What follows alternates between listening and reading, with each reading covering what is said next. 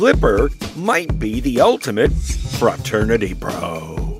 Researchers have discovered that dolphins can rest one half of their brains at a time, allowing them to remain alert and active indefinitely. A new article published in PLOS One this week reveals that the cetaceous insomniacs can keep a party going for more than two weeks.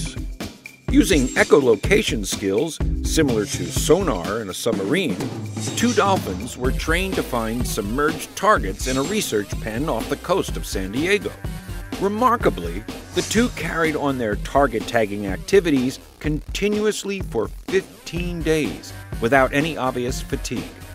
Scientists believe that the seagoing mammals, with no gills or any other underwater breathing apparatus, have most likely developed this very special trait to allow them to breathe in the ocean and remain on 24 7 alert for predators. Either that, or dolphins are totally hooked on that new 360 hour energy drink.